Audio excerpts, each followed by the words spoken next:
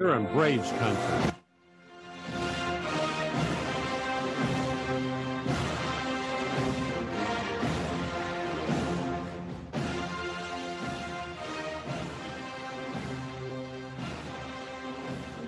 Good morning, Braves country.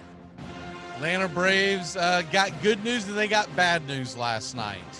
Uh, the bad news, obviously, the Atlanta Braves lose in a just debacle of a ball game last night as they were trounced by the Nationals. Final score ended up being 11 to 6.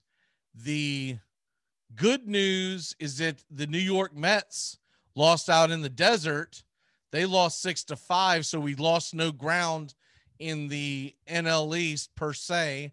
Obviously, the Nats gained a game on us. And as we look at the standings for today as it sits, Atlanta's three and a half behind the Mets. The Mets are actually playing an early game today, and I see that it's the YouTube game of the day. So you want to make sure you try to catch that. I believe it's around 3:30 Eastern. I think first pitch might be like 3:40, but it's around 3:30 Eastern. YouTube game of the day. Set your uh, watches to that so so you know to uh, get a hold of that. We'll, we'll uh, look take a quick look at that game here in a second. Um, the Philadelphia Phillies they won yesterday, so they are now a half game behind Atlanta. Marlins lost or a four game losing streak. They are five games out of first place, a game and a half behind Atlanta, and the and the Braves have a two and a half game lead over Washington. Okay, so what do we got going on today, real quick? Uh, with the Mets and Diamondbacks, it's Peterson versus Mad Bum. Mad Bum's had some bad outings, but all in all, he's been much better this year than he was last year. So I think that I think the Diamondbacks have a chance to win this game and take the series. And if they take the series against the Mets, that's a big deal. If you're a Mets fan, you don't like that at all. But getting a little ahead of ourselves because Peterson is a solid pitcher. He's got a one and four record, but he's not a terrible pitcher. He's not someone that you're running out there going, oh God, how bad are we going to get beat? Peterson can go out there and put up good innings. So should be a great game. I'm looking forward to watching that as the early part of what I call uh NL East doubleheader because you get the Mets at 340. It is 340. Uh 340 Eastern. It will be on YouTube, so anybody can watch it. And then on uh 720, the Braves will take on the Nationals, it's Smyly versus Lester. Real quick before we go into that game, just want to talk about yesterday's game real quick. Just I always make notes during the game because I don't want to forget to talk about it. And, you know, first of all, the first inning, the Braves had a chance to really jump on Strasburg. Now he ends up coming out after the second inning because of what they're saying uh, is a trapezoid injury. What that means, we, will find out probably later today or tomorrow. On, I, w- I would assume he's heading to the IL. That can't be good. And Strasburg, who has had injuries, plagued his career. He he held it all together and stayed healthy for 2019. That's essentially why the Nats won the World Series. But once again, if if this is a blow like this, I just I got a feeling that Washington might become sellers. So uh, it won't do Atlanta any good because you won't be able to get anything from from your in division rival, but it'll make it interesting for for the rest of the trade market. But they blow the opportunity. Strasburg was not at 100. percent You could tell it was a little strange when they went out there to check on him, and he kept looking over in the dugout I'm a little surprised that they let him go as long as they did. But, anyways, uh, Atlanta doesn't take advantage of it. And then Max Fried gets in his in in his own way, essentially. Max Fried, couple of errors. Uh, William Contreras is just an absolute disaster behind the plate. As much as you love having him with his bat, I did find it interesting to see that he has the highest hard hit rate of any catcher in Major League Baseball. I think they said 53 and a half percent. So basically, half the time he's up there, he's hitting rockets. So the offense you like, the defense, I guess for for right now, they're going to live with it. Um, I think we could be costing ourselves a lot of W's. As much as I love w- watching Contreras hit, I'm a big fan of that. He it seems like he needs more time in the minors to be able to cultivate his defense, but they're kind of put behind rock in a hard place. And they're I I would suspect that until d'Arnaud comes back, he's going to be the catcher. If he wants to stay up here in the majors, he's really going to have to look into doing more on the defensive side to be able to get these W's because you can't have a catcher. There were two pass ball. You can't have a catcher who drops basic catches, basic pitches. I'm not expecting the hockey goalie back there, right? But when the ball is smacking him in the glove and it's rolling to the backstop because he misses it by a hair or two, which is how it's how precise you have to be as a major league catcher. It's just an absolute disaster right now. And you hope that it doesn't come in. But the, the more this happens, the more teams are going to realize how big of an Achilles heel he's going to be defensively, and they will take advantage of it. And the old baseball adage when you're struggling defensively, the ball will find you. So we hope for more, but that his his in okay. So first of all, Fried in the second inning turns. I'm I'm sorry, it wasn't the second inning; it was the fourth inning. Turns to try. We have runners on. We have a runner on first base. There's a dribbler to Fried. There's one out. He should have taken the easy out. Literally, the next batter gets out. That would have ended the the the inning. Instead, what ends up happening is the floodgates open. And I'm a little surprised that they charged Fried with six earned runs. You don't normally see that, but that's how the uh, scoring system did it yesterday. You you normally don't see that, but anyways, um, Fried turns to try to gun him down at second to try to pull like the immaculate double play, throws it into the outfield. Then shortly after that, there's a pass ball by Contreras that gets guys up on second and third. And away we go. You end up getting a single out of the deal, and then the home runs given up. The, the single ends up scoring two, obviously, and then they played another two when they bring Santana in. And one of the things that I'm a little confused by with the Atlanta Braves is they had not played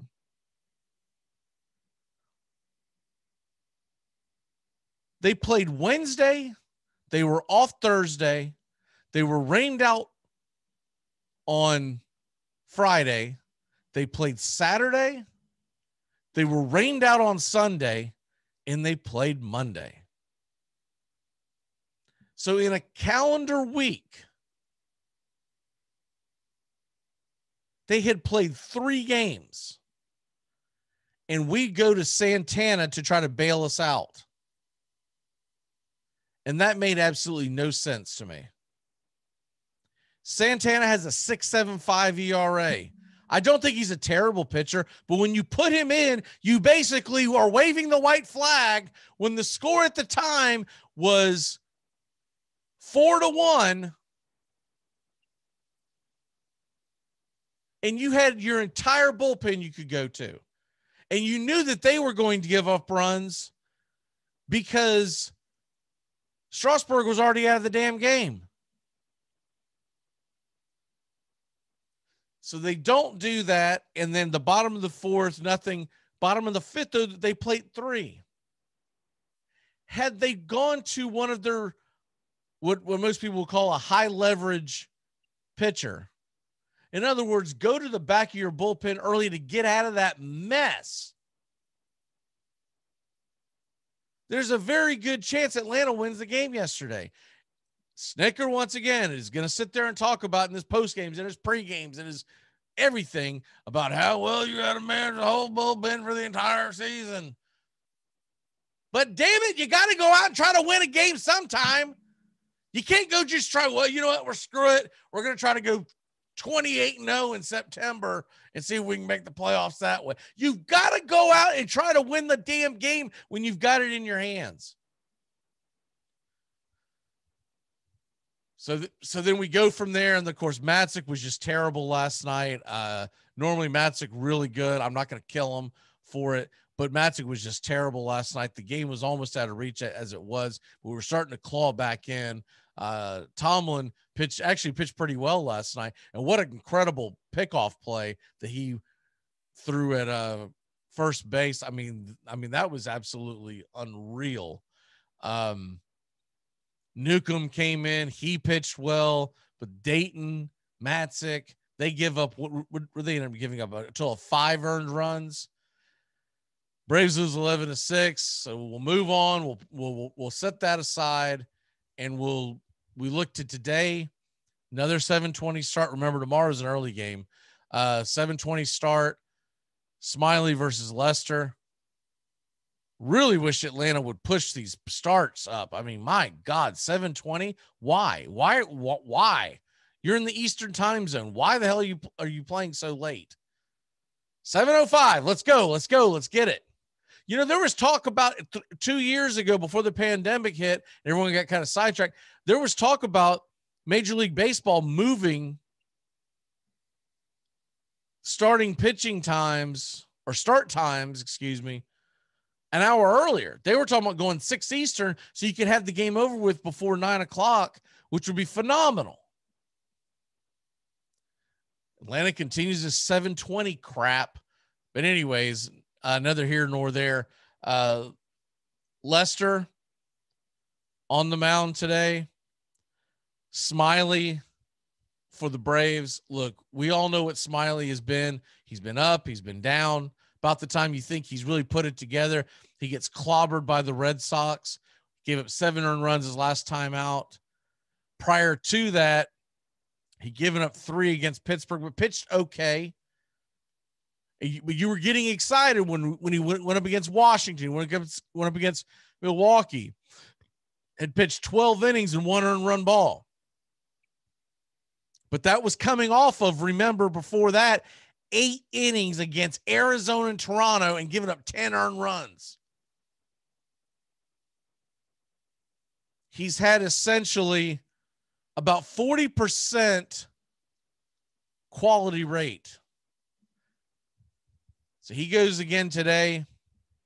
He's going to have an opportunity to pitch well. The Nationals are not a juggernaut on offense. No matter what the scoreboard told you last night, the Nationals are not a juggernaut by any stretch of the imagination. And anyways, we uh, move on from that and we look at tonight's matchup as, of course, Jon Lester, kind of the same situation. Nats fans can definitely tell you that. Um, Jon Lester has had some good outings, but all in all, he has not really set the world on fire. His last outing against Milwaukee was good, four innings, one earned run, but that that's a pretty bad Milwaukee offense. Prior to that, against Baltimore, this is more of the Jon Lester that you've been seeing recently this year. He went four innings, six earned runs against the Orioles. He went five innings, five earned runs in Chicago against the Cubs. He had a good outing against Philly. He had an okay outing against Atlanta. He did get the loss last time out, May 6th. Atlanta got him out by the fifth inning, giving up three, 300 runs.